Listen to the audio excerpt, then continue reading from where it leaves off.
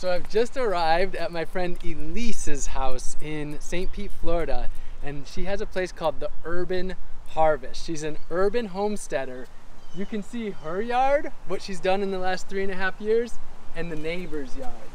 Just look at it around here. It's all grass, all yards. There's not food growing.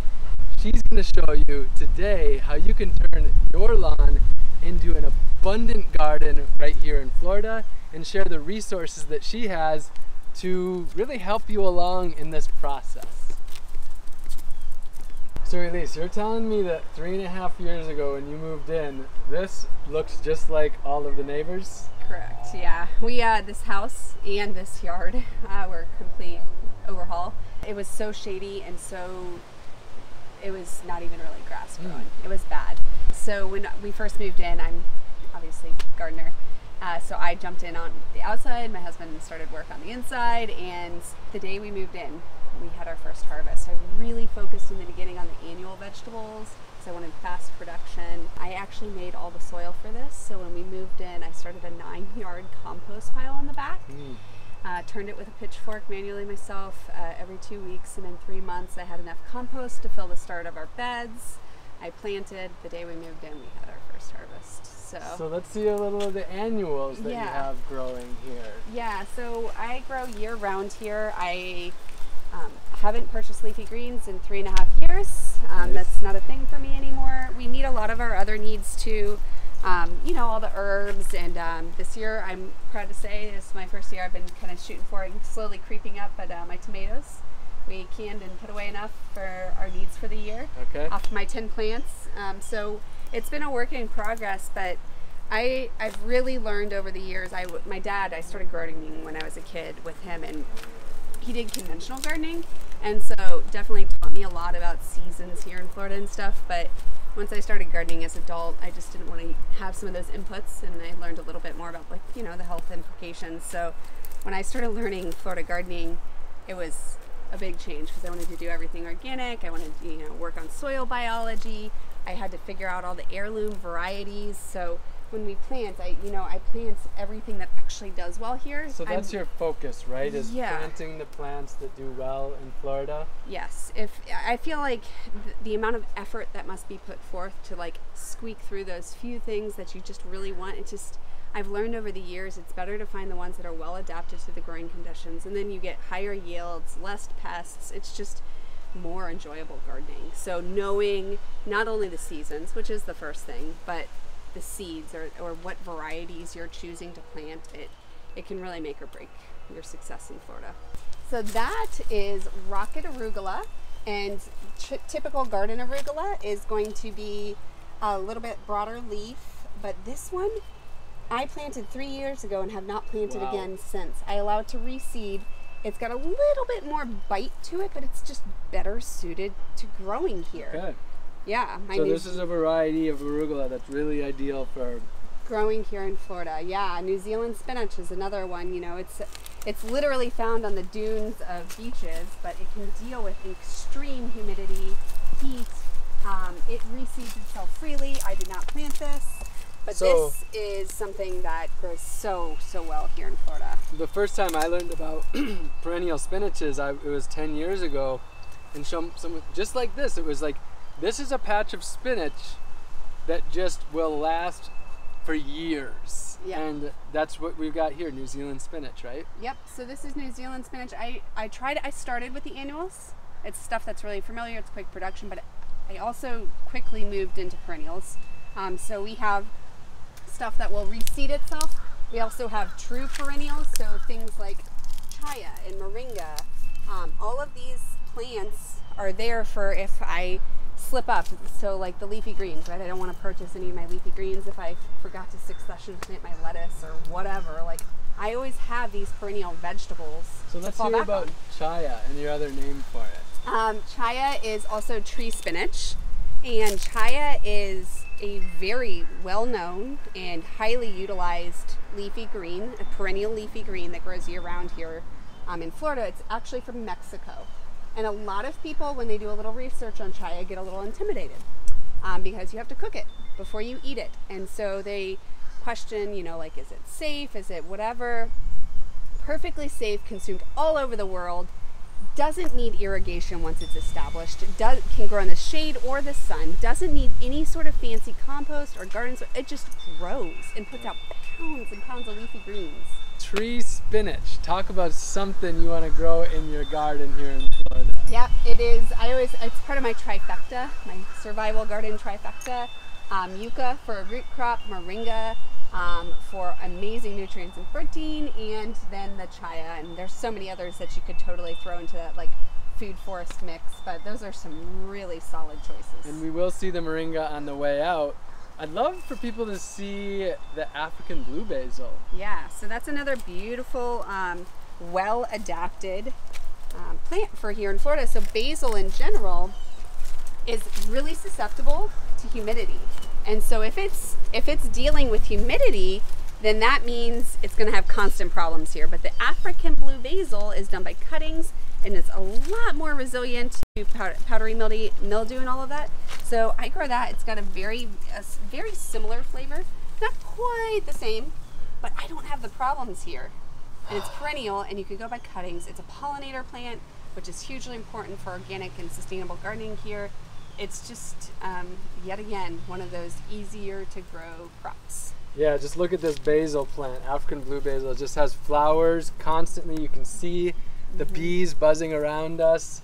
Uh, you know, every everybody in Florida can be growing this plant, basically, yeah. right? Yeah. So there's a lot more in the back. Yeah, we we've done front to back sheet mulch on the property, building soil fertility. We have massive compost. We do backyard chickens.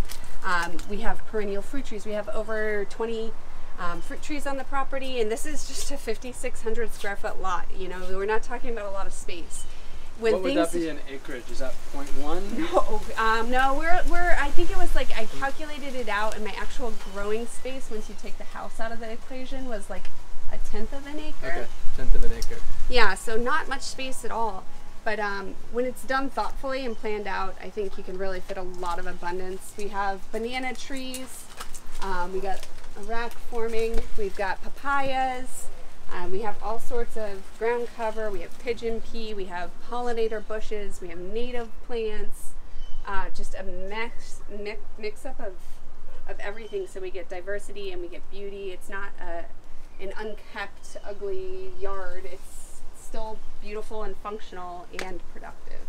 Moringa is one I actually have two planted because it allows me to always have like a huge tree in, in works without it getting too big. But Moringa, tree of life, right? Yes, or the vitamin tree. Yep, it is amazing the amount of nutrition you can get in these leaves. We, we eat them fresh, we dry them, we put them in everything. We put them in our soups, we put them in our smoothies. We put them. This is um, one of the easiest plants you could probably grow from seed. I would suggest seed when you do the cuttings. It'll take, but for me, they don't get as robust of a root system. I really recommend from seed um, for, for your moringa trees, but incredibly well adapted, incredibly abundant plant.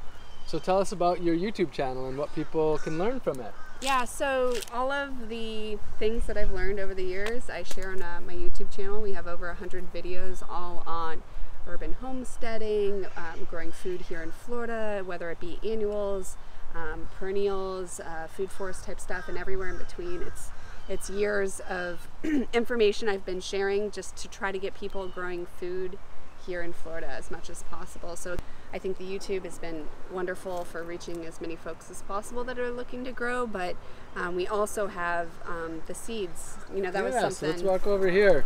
Well, you you sell plants, right? Yeah, so everything's been a natural evolution and there's no quality organic starts for people who aren't willing or ready or missed the window on a seed planting and I didn't have a good place to send them.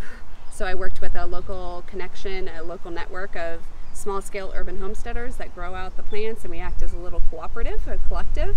And so people order plants on my website on the weekend, they pick them up from the house on the weekends um, we also have a curated collection of seeds. Yeah. Yeah. So we did it two ways. If you're looking for individual seeds and you just want to, you know, pick that one pack, you can get it off the website. But I also got feedback that people really wanted kind of like a helping hand trying to get the seasons. And so we, I created the Seed Club. And that is um, a quarterly seed shipment. It gets mailed to your door It comes with seed success cards, so it shows you exactly what the plant is, how to plant it, um, tips that you might see, whether it needs trellising or it might is susceptible to this. gives you all the information. Um, it gives you the seeds. You get nine each quarter.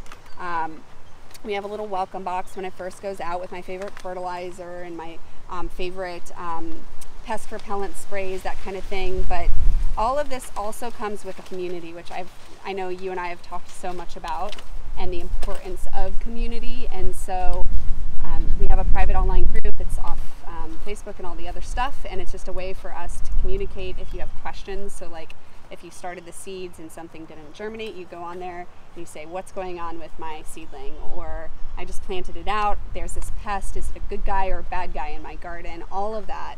Um, so it gives you that constant feedback and reassurance, and you get to see other people's posts so that you know exactly um, you can learn with them and alongside them. So the uh, the seed club quarterly, you'll get the seeds that you want to be growing now, right? So Yep. it's catered towards just the seeds you need to be growing right now. I never send out of season, so and it also does give you planting windows on it. But yeah, and that's it's kind of helps get people the flow because a lot of people think, oh, summer season you can't grow anything. and then of course we have the seed library. Rob Seed Library. yeah, we actually created this together about two years ago. yeah. And this is people can come here and pick up seeds for free, right? Yep. So this is a community outreach kind of a concept where we allow um, we keep it stocked with stuff that grows well here. Um, they're smaller packs. They're trials. They get enough to get your feet wet and Yeah. get started growing.